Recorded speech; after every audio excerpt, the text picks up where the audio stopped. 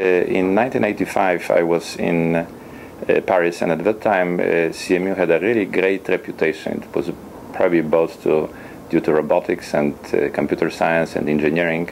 And in addition, uh, Pittsburgh at that time was the most livable city, and uh, it is still. So I think these uh, were main attractions, not only for me, but also for my family.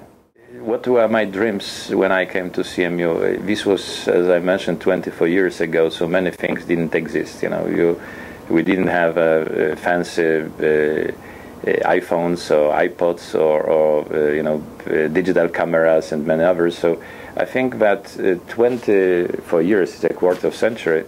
It's a really a time that uh, sometimes uh, dreams were born during the time I was here, and I think that uh, this is really what has to be done. That you you adjust yourself in some sense to whatever challenges are facing our society, and you you learn things and you try to solve them.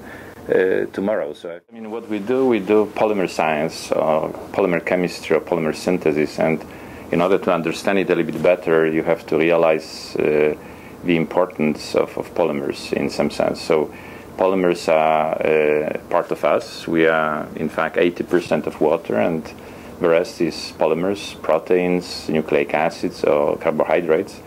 And polymers are everywhere. So uh, synthetic polymers would be plastics, rubbers, uh, fibers, very thin films, and many others. So uh, in fact, what we do, we do radical polymerization, and this is a process which makes approximately 50% of all polymers. It's a very, in fact, difficult to be controlled process because the polymer chains it grows within a one second time and it adds monomer units, so like small parts to a chain within a frequency of one millisecond, more or less. And then after one second, these chains die, but sometimes they can also transfer, so they have an offspring in some sense.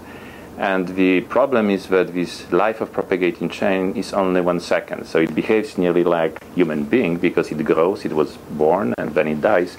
But this happens at a time which is 100 million times faster than our lifetime. So it's very difficult to be controlled. So what we do very often, we try to extend this one second life to something like a day or maybe a couple hours.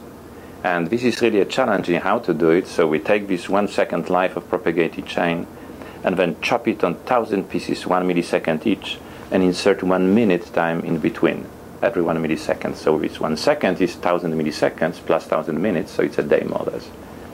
So of course, if you do that, you have to understand somehow uh, what to do with it. Should we do catalyst? How much this catalyst? How little this catalyst? And one of the recent advances which we did was really reducing the amount of catalyst by a factor of thousands, so essentially parts per million only of the catalyst, and using some environmentally friendly reducing agents like vitamin C or ascorbic acid, things like that. So this is one part of what we do. The other one is really engineering macromolecule of this polymer chain, making them with different shapes, stars, sometimes comb-like structures, sometimes very specific uh, uh, self-organizing molecules. So this is really something which allows to these chains, which are made by, by uh, our group essentially, by uh, many of our colleagues in the world, to self-assembly to some nanostructured morphology. So this is really enabling, in some sense, nanotechnology. But there are also many potential applications for polymers which become maybe intelligent or smart, which can respond to environment, which can contract or expand, which can toughen or sometimes get harder or softer.